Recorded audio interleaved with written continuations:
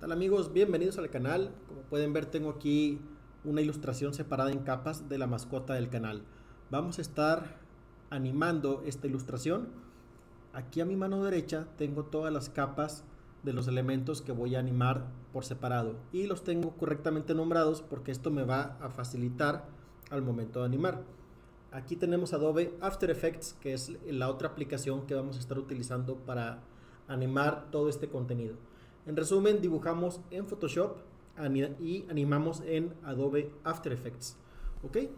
Dicho esto, eh, hay ciertas limitantes que hay que considerar. Por ejemplo, eh, ¿qué sería lo que vamos a separar en capas y qué no? Es el primer criterio y depende de dos cosas. Primera, depende de mí, de qué quiero o qué no quiero animar. En el caso mío no quiero animar los ojos, por lo tanto los ojos no los tengo en otra capa.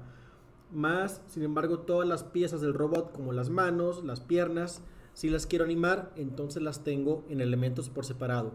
O sea, tengo el hombro, el antebrazo, brazo, todo lo que pueda separar me va a ayudar a mí para poder tener mucho más flexibilidad al momento de animar. Voy a poder rotar, escalar y mover. Segunda condición o limitante el momento de animar. Va a depender de la misma ilustración. Por ejemplo, aquí la postura de la mano no la puedo cambiar para mi lado derecho porque estoy con una capa plana, como pueden ver. Entonces estoy muy limitado, restringido a la postura original de la ilustración. Pero esto tampoco es un obstáculo para poder dotar de vida al personaje, ya que vamos a darle ese movimiento a cada una de las piezas, lo cual lo va a dotar de vida. Ahora voy a guardar el archivo de Photoshop y lo voy a guardar en el formato original de PSD y con todas las capas aquí a mi lado derecho. Guardamos y una vez hecho esto nos vamos a ir a Adobe After Effects. Archivo, importar archivo y buscamos el archivo de Photoshop. Gato cliché atacando es este damos clic y es importante esta parte de configurar. Tenemos que elegir lo que es composición y ah, estilo de capas editables. Esas dos características son las que tienen que estar activas. Estilo de capas editables checamos y composición. Ahora vamos a dar a aceptar ya que esté esto listo aceptamos. Y aquí en mi lado izquierdo se crea este archivo que voy a arrastrar hasta este icono de composición que ven aquí y soltamos. Este anuncio que me sale es porque tengo la tecla mayúscula activada. La desactivamos y ya podemos ver el dibujo correctamente. Tenemos aquí en mi línea de tiempo, abajo donde dice 02, 04S, 06, son los segundos. Entonces, esto de aquí es la composición que contiene todas las capas editables en esta franja dorada. ¿Ok? Nada más déjenme ver si puedo ajustar un poco el panel para que me quede más grande la línea de tiempo. Ah, no me está dejando. A ver. Mm, no, bueno, vámonos de una vez a la composición. Doble clic y vemos todas las capas en la misma jerarquía que teníamos en Photoshop con los nombres y todo. ¿Ok? Bien, ya estamos listos prácticamente. Nuestra duración es 30 segundos. Vamos a ajustar aquí arriba composición, ajustes de la composición y tenemos 30 segundos. Bueno, vamos a ponerlo aquí en, sí, en 60. quitamos el 1 y lo dejamos cerradito. 60 segundos. Ok. Listo. Bien.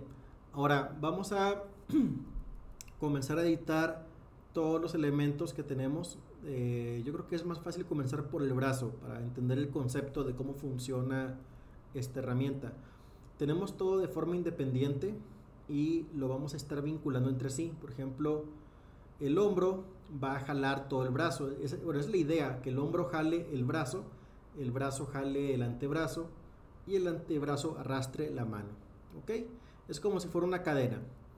Entonces, aquí me voy a hombro y verifico que sí sea ok bueno como les comenté vamos a hacer, hacer eso seleccionamos aquí arriba la herramienta panorámica esta de aquí.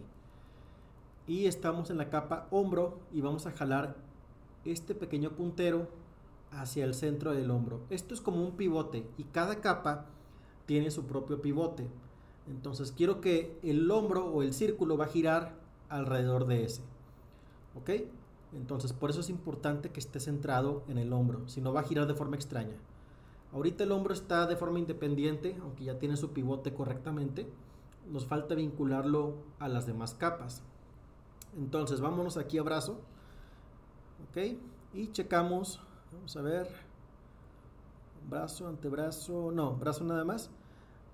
Checamos esta espiral y jalamos sin soltar el mouse. Y lo arrastramos hacia el hombro y soltamos. Ya podemos ver que en la capa brazo aparece hombro, o sea, está vinculado al hombro. Y al moverlo, vemos que ahora sí al mover el hombro, arrastra el brazo. Vamos a repetir esto con cada uno de los elementos, ¿ok? Es como si fuera una cadena, van a estar vinculados entre sí. No todos van a ir al hombro. Ahorita van a ir viendo cuál va a ser la secuencia, ¿ok? Entonces, el antebrazo al brazo, la mano al antebrazo, y con esto ya lo tenemos. La ventaja es que vean, la mano es independiente, pero si movemos el antebrazo, este jala la, mano, el brazo jala el antebrazo, el cual jala también la mano. Y así consecutivamente hasta llegar al hombro, ¿ok? Esta lógica es la que vamos a estar trabajando en esta aplicación para poder vincular. Digamos que estamos agrupando elementos que son independientes, pero están dentro de una caja invisible, por así decirlo, ¿no? O, dentro de una cadena. Vamos a repetir esto con las piernas, el otro brazo y todo lo demás. Por ejemplo, la boca del gato va a ir anclada al gato. El gato va a ir anclado al torso del robot. Y esa va a ser la lógica. Aquí lo mejor es practicar. Lo que estoy moviendo aquí es, como voy a rotar la, la muñeca, es importante que tenga el puntero en, lo que viene siendo la muñeca, que es donde está el pivote donde giramos la muñeca. Si presiono R, aparece la opción de rotación y que tiene aquí unos parámetros que podemos mover y estos van a estar manipulando la mano o el elemento que tengamos seleccionado. Aquí recuerden es letra R para que aparezca. Si queremos cambiar la posición, presionamos letra P o la escala letra S de scale, está pensado en inglés. Son las, digamos que tres comandos que tenemos que aprendernos. Ahora voy a continuar editando la vinculación de todos los elementos restantes, pero me voy a adelantar un poco para hacer el video un poco más dinámico, ¿ok? Ahorita nos vemos cuando ya esté el gato completamente vinculado. Bien, ahorita ya tenemos aparentemente todo vinculado. Eh, falta hacer algún digamos que unos ajustes finales. Y para esto voy a vincular el torso eh, a un controlador eh, general, por así decirlo. Entonces me voy a ir aquí arriba a capa, nuevo, aquí arriba. Y voy a buscar Object Null. Doy clic y ven que aparece ese punto o ese icono rojo. Y aquí abajo en las capas aparece nulo 1 eh, no importa dónde estén, en qué orden en la jerarquía de capas, porque es un objeto invisible, es como si hubiera una capa con algo invisible que, nada, que puede recibir las propiedades de animación. Para tener mayor control, pues lo voy a poner aquí cerquita de lo que es el torso, que es lo que quiero vincular. Y voy a vincular el torso a el null. Pero antes de eso, vamos a ver, lo voy a mover aquí abajo a la altura de los pies, como pueden ver, porque quiero, eh, digamos que escalar, eh, dar un efecto como que está respirando el robot y como que está jalándose hacia abajo. Entonces, el piso va a ser mi, el área que va a delimitar, o sea, quiero jalar del piso, digamos que de abajo, o sea, quiero jalar todo hacia el piso, es lo que quiero decir. Entonces voy a poner el null hasta abajo a la altura de los, de los pies donde están haciendo contacto. ¿Ok? Y bien, dicho esto, ya sería la configuración final. Ahora sí ya podemos proceder a animar. Ok, ahora vamos a comenzar a animar. el null, que ya le cambié el nombre a controlador. Presionando la tecla S me aparece la opción de escala y presionando este candado voy a romper la proporción, o sea, puedo cambiar la escala en horizontal o en vertical de forma independiente. Si estuviera aganchado se estarían cambiando proporcionalmente, pero es lo que yo quiero evitar. Entonces, voy a dar clic aquí en el reloj y se va a poner un, un punto o un keyframe o un fotograma en mi línea de tiempo. Este se va a poner eh, donde yo tenga la línea, esta vertical en azul, donde esté esa línea azul es donde se va a colocar el punto o el fotograma, ¿ok? Y si presiono control y flecha a la derecha, puedo ir avanzando fotograma por fotograma. Por ejemplo, control, derecha, derecha, derecha y avanzo tres fotogramas. Muevo un poco aquí los parámetros y cuando me gusta presiono otra vez aquí al lado del reloj, de donde dice controlador, en el puntito que está ahí azul para agregar un fotograma adicional. Lo que estoy haciendo es distorsionar al personaje mediante la opción de escala. ¿sí? Esto que estoy haciendo de hacerlo de forma separada se llama squash y stretch, que es, una, es un principio de la animación, lo cual nos ayuda a darle, dotar de flexibilidad a nuestros personajes. E imagínense que es como si fuera una pelotita de goma. Si yo aplasto la pelota de goma, se hace más delgada, pero la, pelota de goma debe preservar su volumen. Se hace más delgadita, pero la masa se va hacia arriba. O sea, yo lo hago más delgada y se estira hacia arriba. ¿Sí? E, y también a la inversa. Entonces, es lo que estamos haciendo. Aquí estoy copiando mi fotograma inicial a que sea igual al final, porque voy a trabajar una animación que es un loop. Es decir, esta animación, como el fotograma 1 es igual que el fotograma final, la puedo estar repitiendo una y otra y otra vez y puede estar infinitamente como si fuera un sticker o un GIF. ¿Ok? Entonces, esos mismos tres fotogramas, lo que hago es copiarlos e irlos desplazando en la línea de tiempo. No se preocupen si ahorita lo hice muy rápido. Vamos a estar haciendo esto todo el tutorial. Así que va a haber suficiente tiempo para que se vayan acostumbrando a, esto. ¿Ok? Ahora, aquí presiono la letra N, lo cual desplazó esta barra que ven aquí arriba. Esa barra me delimita el, el espacio en el que yo quiero previsualizar mi animación. Para aquí arriba a la derecha, presionamos y va a comenzar a precargar aquí poco a poco y ya podemos ver. Aquí en, Adobe After Effects no podemos darle play como un reproductor y esperar que se reproduzca todo. Tiene que precargar la animación y después ya reproduce. Obviamente mientras más larga sea la línea de tiempo, más tiene que precargar. Por lo tanto, por eso fue que ajusté esta línea de arriba para que el espacio con el que vamos a trabajar sea mucho más pequeño.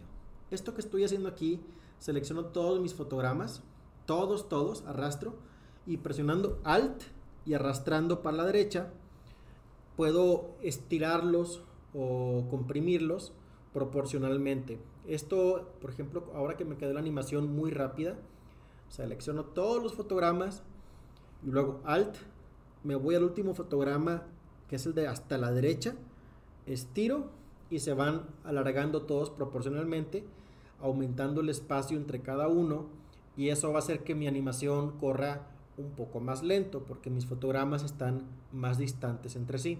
¿Ok? Entonces son conceptos con los que nos tenemos que ir familiarizando poco a poco. Ahorita se ve medio raro, pero estamos alterando el, controlador de todo el personaje y ahora vamos a ir, digamos que editando de forma independiente cada uno de los elementos. Por ejemplo, ahora el torso vámonos aquí, ponemos un fotograma y vamos a editar lo que es la posición. ¿Ok? Bien, vamos a trabajar con la boca del gato. Y este pueden ver que el pivote lo subí hasta, la, hasta el labio superior del gato. Esto es porque voy a escalar la boca, eh, pues la boca y quiero que se mueva la quijada inferior. ¿sí? La quijada inferior es la que se debe mover cuando hablamos.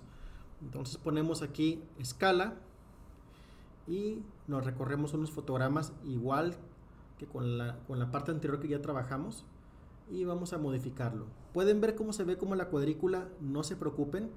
Esto lo hace el programa siempre para optimizar recursos, que la verdad es que gasta bastante memoria, pero no se preocupen, el resultado final se va a ver en alta calidad. ¿ok? Entonces aquí vamos eh, moviendo parámetros de la escala y nuevamente copiamos fotograma inicial y ya tenemos el inicial es igual que el final. ¿Ok?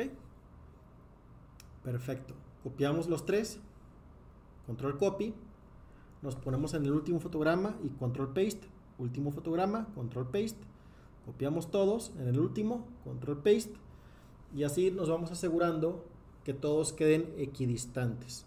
¿ok? Se verá a lo mejor muy robótico que estén todos eh, alineados, pero más adelante podemos desfasar ciertos fotogramas para que se vea un poquito más natural la animación.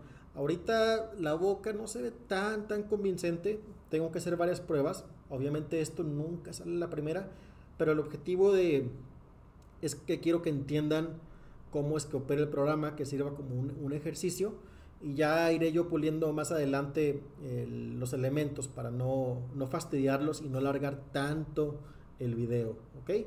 Entonces, esto sería como animaríamos la boca. Vamos a proseguir más adelante. Bueno, vamos a trabajar con el hombro y estamos con posición. Recuerden tecla P para que aparezca la opción de posición y vamos a mover ligeramente y vamos a copiar el cuadro inicial con el cuadro final. Eso nos va a dar un movimiento muy muy sutil y vamos a ir duplicando hasta obtener cierto movimiento. ¿ok? Como pueden ver he ido avanzando poco a poco, pero la dinámica es la misma. ¿va?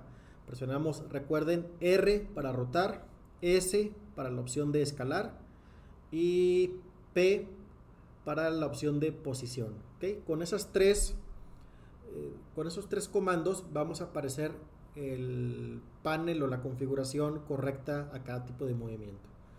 Y vamos a repetir este mismo ejercicio con cada uno de los elementos. Aquí no hay de otra más que hacer práctica, prueba y error eh, irse familiarizando. No me gustaría meterme tan a detalle porque el tutorial se, extendería demasiado, pero con esto creo que van entendiendo más o menos la base. Aquí estoy moviendo el hombro, como pueden ver, con la opción de rotación y alterando los valores, aquí a 2 grados, puedo girar un poco y el hombro va a jalar todo lo demás. Copio nuevamente el primero al final y así me la llevo y con esto ya vean tengo un poco de movimiento en el brazo. Ven que va cobrando un poco más de vida y básicamente esta es la lógica que debemos de seguir. Hay muchas otras opciones. Eh, podemos hacer capas de 2D a 3D entre comillas girarlas como si fueran un papel meter efectos podríamos hacer que el gato parpadee pero bueno eh, eso ya sería demasiado para este, para este tutorial lo que vieron ahorita de, la, de los picos es que podemos cambiar la animación. Por ejemplo, ven los fotogramas que son como rombos. Si los selecciono todos y presiono F9, ahora la curva está como más suave. Se fijan, ya no está recta. Quiere decir que va a haber una aceleración y una desaceleración en el movimiento. Eso es presionando F9 en los fotogramas seleccionados. ¿ok? Va a hacer que nuestro movimiento sea más suave, no tan robótico y se va a ver más natural. ¿ok? Por lo pronto creo que es suficiente por este tutorial. Déjenme aquí abajo en los comentarios qué les pareció como que una primera aproximación a lo que es animar una ilustración. Y bueno, eh, por lo pronto yo me despido. Yo soy Grecos y esto es The Geek Tower, tu canal de dibujo.